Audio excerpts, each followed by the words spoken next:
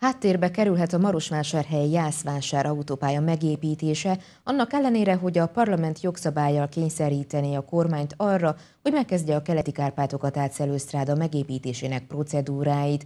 A szállítási minisztériumnál ugyanis most készül az a tanulmány, amely a Bákó-Brassó útvonalat javasolja Erdély és Moldva összekötésére.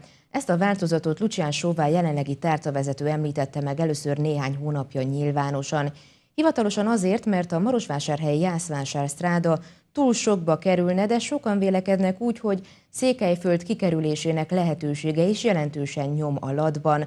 Az új elképzelés szerint Moldovát az új nyomvonalon Fogarasnál kötnék össze a délerdélyi sztrádával, így teremtve meg az összeköttetést az európai autópályahálózattal.